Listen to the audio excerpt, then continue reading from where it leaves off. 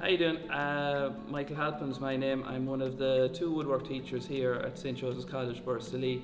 Um, I will hopefully be your wood technology teacher next year uh, if you choose to come to us.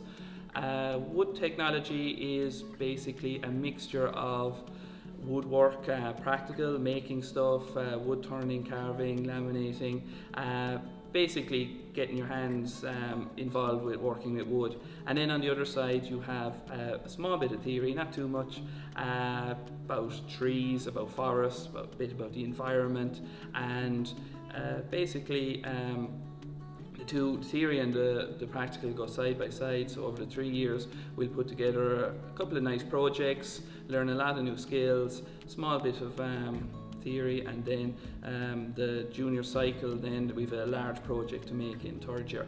Um, so it's a very popular subject here, um, a good mix of boys and girls take it up um, and as I say hopefully uh, next year I look forward to seeing you in this class.